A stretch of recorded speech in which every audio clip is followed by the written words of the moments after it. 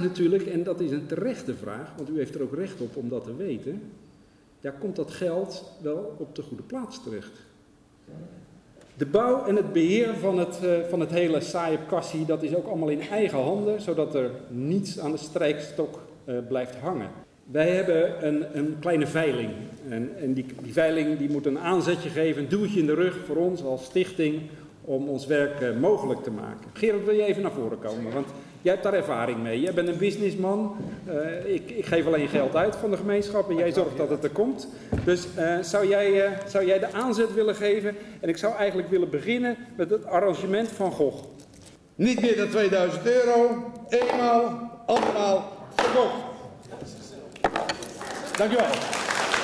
Nou, dames en heren, dan gaan we verder met het volgende veilingstuk. En we beginnen dus niet met 1000 euro. We beginnen vandaag met 2000 euro voor dit fantastische. Wie biedt de 2000 euro? Steek uw handen. Bied er nog een keer overheen. 3000 euro. Een hele lieve Dankjewel. Dan is u verkocht. Dames en heren, u heeft het allemaal gehoord. Dus uh, voor de eerste steen. En uh, ja, dat is heel erg belangrijk. De eerste steen is gelegd door. Het is zojuist ook gezegd. Daar kan uw familie, familienaam in komen te staan. Daar kan uw bedrijfsnaam in komen te staan. En dat is natuurlijk wel uh, heel belangrijk. En we hopen dus dat deze eerste steen ook inderdaad een heel groot bedrag gaat opbrengen. En ik wou eigenlijk gaan beginnen met een bedrag van 5000 euro voor de eerste steen. Wie biedt er 5000 voor de eerste steen? Wie biedt er 20.000 euro? Van de dames en de heren. 20.000 euro. Deze kant? Deze kant voor 20.000 en aan die kant wordt ook 20.000 geboden. Meneer de voorzitter, ja. dan lijkt mij veel beter. We zetten de twee namen op. En we doen 2 maal 20.000 euro. Kunnen ze daarmee verenigen? Dank u wel. Want dit, dames en heren, is Zander. Hij is acht maanden oud. En mijn vrouw en ik voeden hem op om straks terug te geven aan de Stichting Hulpbond Nederland waar hij dan verder door professionele trainers wordt opgeleid om zijn werk te gaan doen. En ik wil u wel gelijk antwoord geven op de meest gestelde vraag, niet alleen aan mij, maar ik denk aan ons allebei. Hè. Mag ik hem? Nee, dat mag u niet. En wij mogen dat lekker wel. En mijn gezin mag dat ook. En de reden is dat de hond moet gefocust zijn op zijn baasje. We weten nog niet wat Sander straks gaat doen. Maar pas als hij zo'n twee, drie maanden terug is in de kennel en die professionele trainers ernaar kijken, gaan ze kijken waar hij echt zijn talenten heeft. Misschien gaat hij iemand helpen in een rolstoel.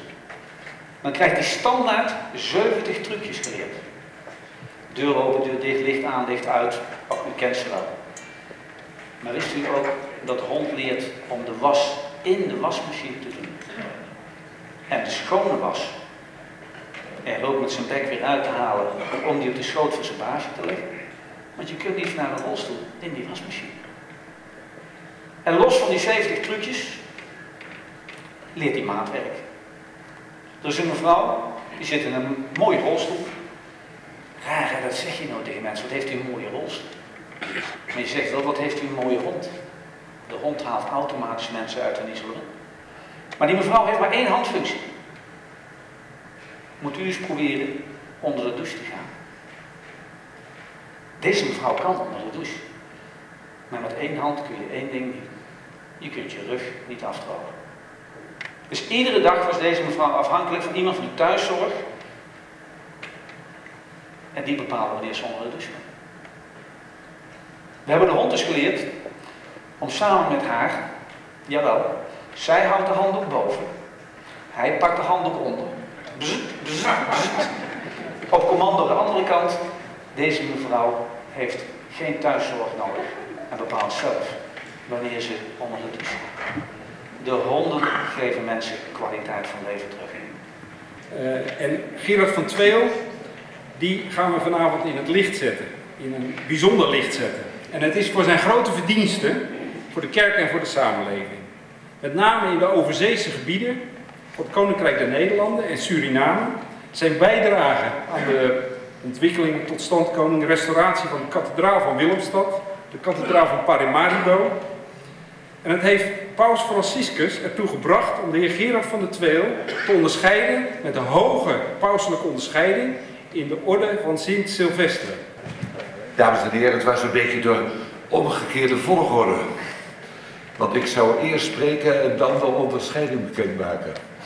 Maar ja, u weet nu waar het om gaat. Het gaat om de heer Van der Twee. Wie is meneer Van der Twee? Nou, laat ik het maar kort en krachtig eh, zeggen. Een groot mysterie. En tot uw troost,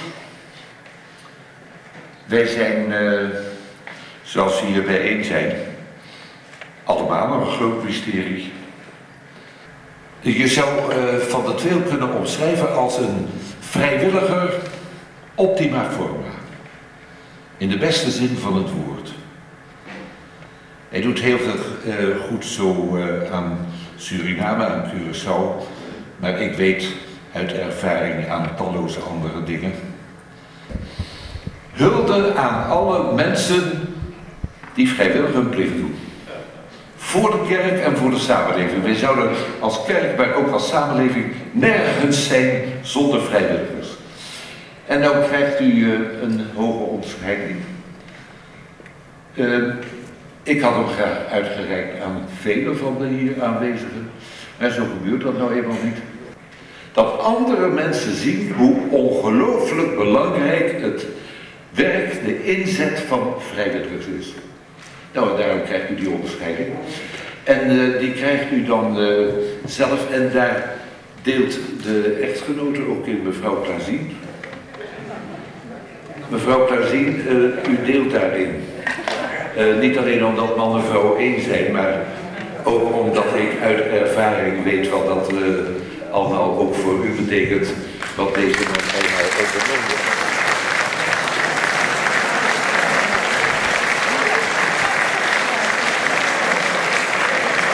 Talloze maanden, ik weet niet of u dat weet, maar dat deze meneer naar Curaçao moet reizen of naar Suriname en dan moet zij dat maar weer goed vinden of meegaan. En ik heb dat zelf een keer mogen meemaken, dus ik weet een beetje wat dat is. Alleen al voor een huisvrouw dat je dag in na dag uit moet je afvragen hoe laat komt hij thuis. Ik moet u er wel wat bij zeggen. Het is een beetje teleurstellend. Paus Franciscus heeft daar niet over wakker gelegen. Van ik moet die meneer daar in Hekerk nog een onderscheiding geven. Hij zit op de ogenblik in Bolivia, dus ja, wat wil die? Niettemin heeft het hem behaagd om u uh, te benoemen tot commandeur in de orde van de heilige Sylvester. En dat is werkelijk niet de minste onderscheiding. Meneer en mevrouw van der Tweel, hulde. Tegenwoordig Nou, meneer Van der Tweel, met alle vreugde en dankbaarheid. Klittenband, heel Dat u hem nog lang een goede gezondheid mag dragen. Heel, heel, heel, heel hartelijk dank. Ja. Dat komt uit het grote. Het grote lint. bedankt. Het grote lint. Moet je aan vraag Hij moet geliefd hebben. het. Oké. Ja. Heb jij toch wat gezien hoe dat moet? Nee, nu zit hij van, van rechts naar links. Zo. Tuurlijk. Nogmaals. Oh, eens Ken je kijken. aan? Wacht even, ja. Ja, hoe voor